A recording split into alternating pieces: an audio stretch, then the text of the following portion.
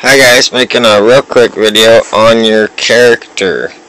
I never pointed out the start start stuff. If you want to change your hair color or style, you hit that top one. Little arrow things up there.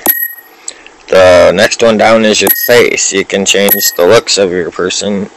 The next one down is your color. You can go as dark as that. And as well as change between the guys or whatever. So anyway, I thought I would show you that, um, and if you haven't figured that rest of that out, you go up to locker room, and that takes you to this little screen in the middle one that has picture of fashion there. I just pushed it, and then there's your tees and stuff, and your clubs. Oh, and the other one's your pouch bag or whatever. So anyway, that's how to change your person, I guess. I just thought I'd show you that. I never thought about, um...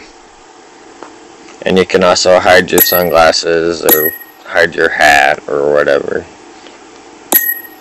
So that's how that works.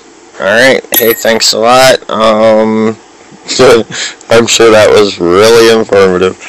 Uh, if that helped, like and subscribe don't really care. These are for a buddy of mine and or anyone who wants to learn along with me. So thanks and enjoy the game.